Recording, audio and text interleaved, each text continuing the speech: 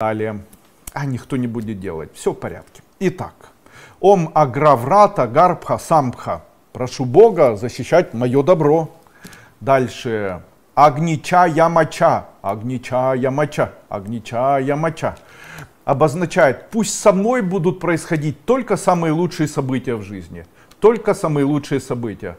Агнича это значит жизнь во мне создает только хорошие, радостные события. Как это устроено?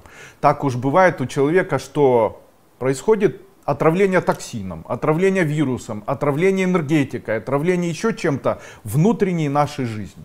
И это проникает в наше тело. И человек начинает болеть, у него появляются с утра внезапные какие-либо заболевания, там, плохое настроение, болезненные ощущения, там, что-либо. Утром проснулся, настроение уже плохое. Вечером засыпаешь и тоже плохое. И утром, и вечером нет сил, на всех раздражения и так далее. Произнося огнича ямача, человек фактически очищает себя внутренне, делая внутреннюю свою энергию, эта энергия называется энергия огни, внутренний огонь жизни, делает эту энергию чистой. То есть он буквально выглядит так.